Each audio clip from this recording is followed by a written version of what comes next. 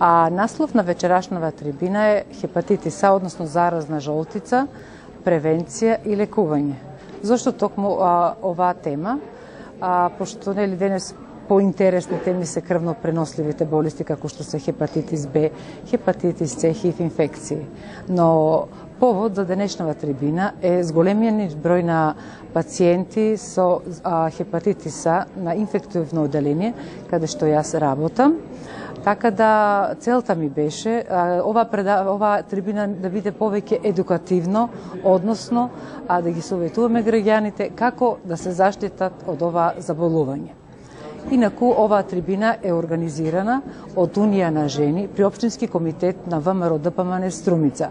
Една од задачите на Унија на жени е да се грижи за здравјето на нашите луѓе, односно за, претежно во превенцијата на здравјето. Така да и целта на оваа наша трибина е а, како да не се заразиме од оваа болест.